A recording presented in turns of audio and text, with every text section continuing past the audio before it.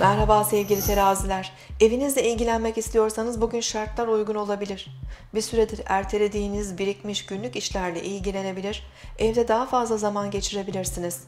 Kenarda köşede unuttuğunuz, kaybettiğiniz bir eşyanızı da bulabilir, sevinebilirsiniz.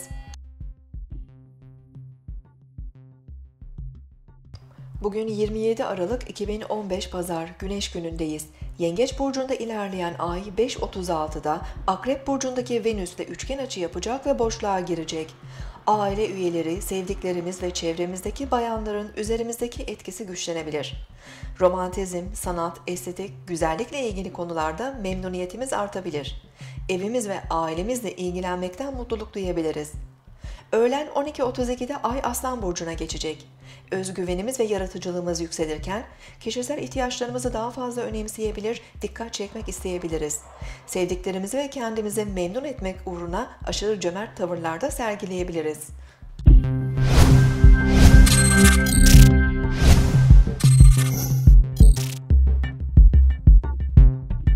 Bu akşam seminerimizi canlı olarak mobil uygulamamız üzerinden yapıyoruz.